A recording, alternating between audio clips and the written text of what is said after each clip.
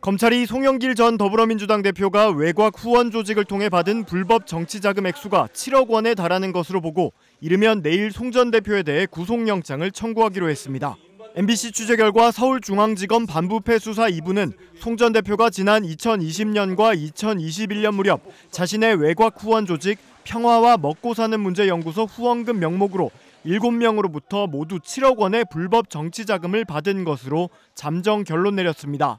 검찰은 앞서 2020년 1월부터 이듬해 8월까지 3억 원 가까운 정치 자금을 건넨 혐의로 박용하 전 여수상공회의소 회장을 압수수색한 바 있으며 박 전 회장 외에도 후원자 6명이 4억 원 정도 돈을 건넨 사실을 확인했습니다.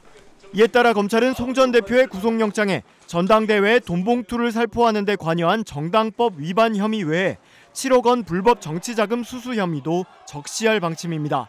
검찰은 박용화 전 회장이 건넨 3억 원 중 4천만 원은 소각장 증설 인허가 민원 대가로 건넨 뇌물로 의심하고 있으며 구속영장에 뇌물죄까지 적용할 수 있을지 검토하고 있는 것으로 전해졌습니다. 이에 대해 송 전 대표 측 변호인은 외곽단체 후원금을 불법 정치자금으로 처벌하면 후원을 통한 정치 참여의 자유가 제한될 것이며 소각장 인허가 등 대가성도 없는 순수한 후원금이었다고 반박했습니다. 앞서 검찰은 지난주 송 전 대표를 불러 2021년 전당대회 돈봉투 살포 의혹을 비롯해 외곽 조직을 뇌물이나 정치자금 창구로 이용했는지 등을 물었습니다.